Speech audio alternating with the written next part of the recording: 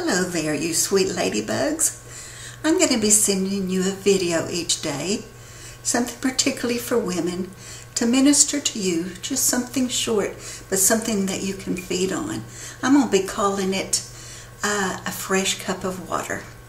And I start with lesson one today, and that is why bother to pray. Through the years, many people have asked me, well, if God knows everything, why should we bother to pray? That's what I want to talk to you briefly about today.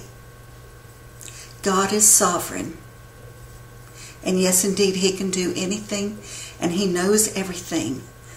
But one of the reasons to pray is that our supreme ruler, the ultimate power over all, told us to. It's a command, and if we truly do love Him, we obey His commands. That's found in 1 John 2 and 3. We know that we have come to know Him if we obey His commands. There was a quote from Mother Teresa that I really liked. It said, The secret of prayer is very simple pray. Hmm. Through prayer, one becomes one in love with God, the Father, and Jesus Christ, and the Holy Spirit. Praying to Him is loving Him. I have found that to be so very true. If you don't talk to God on a regular basis, you can't really be loving Him. So back to our focus. Why bother to pray? The second reason to pray is that Jesus prayed. Some say the main reason that we're to pray is so that God can change us. And that's so very true. But there are other reasons for us to pray as well. Jesus was not being made holy by his prayers. He was communing with the Father. I have to do this because we also are communing with the Father. Communion means sharing one's deep thoughts and feelings. Jesus was asking for things. He was thanking God. In the Garden of Gethsemane, he was pouring out his hurting heart to the Father. Then he was yielding, he was giving up his own will, and he was accepting God's plan for him and for humanity there is a poem that has meant a great deal to me through the years, written by a famous missionary, Amy Carmichael. And she entitled it To Find Peace. And it's my prayer that it helps you as much as it helps me. He said, I will forget the dying faces, the empty places, they shall be filled again. O voices moaning deep within me, cease. But vain the word, vain, vain. Not in forgetting lieth peace. And I add, we can't just say, oh, I'm just going to forget about this and go on. No, because it's still in there, still in your heart, and it's not going to bring you peace to forget, because you're not really going to forget. On with the poem. He said, I will crowd action upon action. The strife of factions shall stir me and sustain. O tears that drive, drown the fire of manhood cease. But vain the word, vain, vain, not in endeavor lieth peace.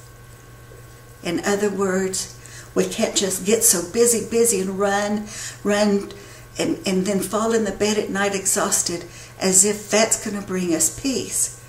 It's not going to bring us peace. That's not the answer. He said, I will withdraw me and be quiet. Why meddle in life's riot? Shut be my door of pain. Desire thou dost befool me, thou shalt cease. But vain the word, vain, vain. Not in aloofness lieth peace. That means I'll just, I don't care, I don't really care about any of it. No, that's not going to bring peace. He said, I will submit. I am defeated. God hath depleted my life of its rich gain. O futile murmurings, why will thou not cease? But vain the word, vain, vain, not in submission lieth peace. All right, God, I'll just give up, whatever. That's not going to bring you peace. But then, he said, I will accept the breaking sorrow, which God tomorrow will to his son explain. Then did the turmoil deep within him cease. Not vain the word, not vain, for in acceptance lieth peace. Now you're not going to get upset. You're not going to say, okay, God, I accept what's happening to me or what you're allowing to come my way. You're going to have to pray, help me to accept. Help me to accept that you've got a plan for me, that you love me, you're working the best in me, and accept because if you just fight, fight, fight, you're never going to have peace. For in acceptance lieth peace.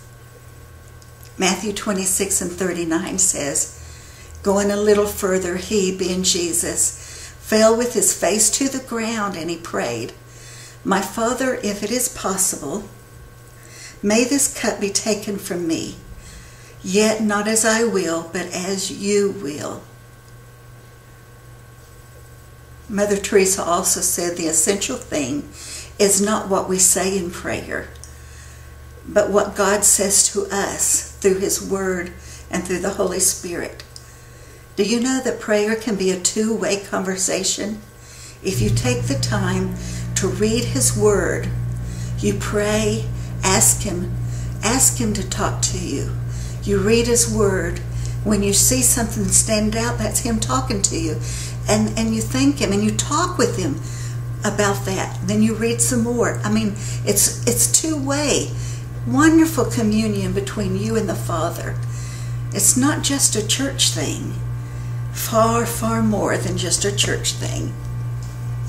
Back to my original why bother to pray? The third reason is this God has set it up that people are to pray first and then He moves according, accordingly. He moves according to faith, moves according to what His perfect plan is, and gives the answer. Things simply just will not happen until we pray. That's how God has set it up. You know, God can do anything and everything He wants, but He wants us to ask and believe and to see our prayers come to fruition, to see the miracles happen. If we don't pray and ask, how can we see Him move?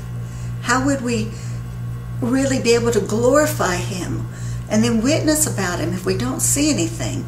And he's not going to do it until we ask.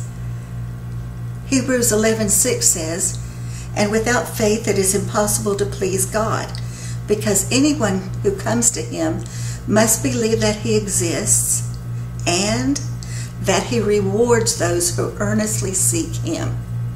Did you notice the words earnestly seek him? prayer is not just about asking Him for something you want. Seeking Him is asking to get to know Him more. Reading His Word. And when you're reading the Word, you're looking up to see who is He. I always pray, Lord, what makes you happy? What hurts you, Lord? What can I do that will bless you? I want to know Him. It's like a treasure hunt. Every time I open the Bible, every time you open the Bible, it's like a treasure hunt of finding God. And the more you know Him, the closer you're going to be drawn to Him, and the closer your relationship will be. If we don't pray, you know, we don't have any spiritual power. Time with God, really with God, gives us power to be godly, gives us the ability to know Him and be close to Him. Finally, the pattern all over the Bible is for us to work and to pray. We do what we can while asking and depending on God to do what we cannot do. Then watch for the answers. He is going to send them. And don't forget to thank Him. The, the minute you've asked Him for something or to do something, then thank Him immediately right then. Thank you, Lord, because I know you're going to do it. You are faithful, you are mighty, and I know you're going to do it. And then when He does answer the prayer, sometimes people just go on with their business in life, but stop and praise Him. Thank Him deeply and then tell everybody else about it. That's how you witness. In closing, I am going to, I'm going to do something odd in that I'm going to read a prayer from Elisabeth Elliot. I'm doing it because this is a prayer that she wrote that she meant and when I read it I thought I mean that from my heart too. I can say that truly to the Lord. So I share it with you in closing this day. Loving Lord and Heavenly Father, I offer up today all that I am, all that I have, all that I do, all that I suffer, to be yours today and yours forever.